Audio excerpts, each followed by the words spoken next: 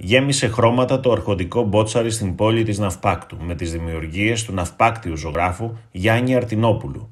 Η έκθεση του Γιάννη Αρτινόπουλου ξεκίνησε την περασμένη εβδομάδα όπου πραγματοποιήθηκε η εκδήλωση για να τιμηθεί ο σπουδαίος ναυπάκτιος ζωγράφος σε μια εκδήλωση που πραγματοποίησε ο Δήμος Ναυπακτίας με τα εκπαιδευτήρια Κοτρώνη. Πάντα λοιπόν τα εκπαιδευτήρια Κοτρώνη κάνουν αυτή την έκθεση που βλέπετε και εδώ στο, στο αρχοντικό Μπότσαρι.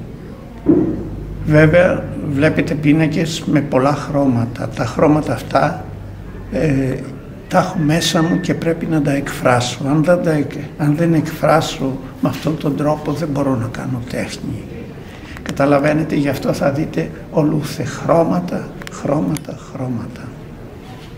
Είναι γεγονός ότι συνεχίζω να ζωγραφίζω και αυτό που βλέπετε είναι υπερρεαλιστικό. Ξεφεύγω από το, από το παραδοσιακό και από την αντιγραφή. Λοιπόν, γι' αυτό νομίζω ότι έτσι βρίσκω μέσα μου την αρμονία και την εκφράζω προς τα έξω. Αυτό έχω να σας πω. Πόσα έργα σας φιλοξενεί εδώ ο πύργος Μπότσαρη αυτές τις μέρες; Γύρω στα 30. Γύρω στα 30 περίπου.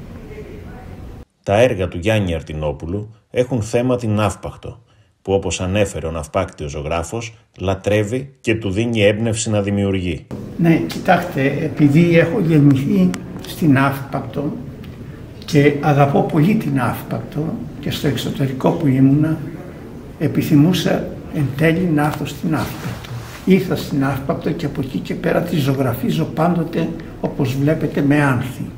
Δεν φτιάχνω το πραγματικό βουνό, τις πέτρες, τα βράχια και αυτά. Αυτό που μου αρέσει επίσης είναι ότι η Ναύπακτος λούζεται με μια όμορφη θάλασσα και τα καράβια της όπως βλέπετε ταξιδεύουν.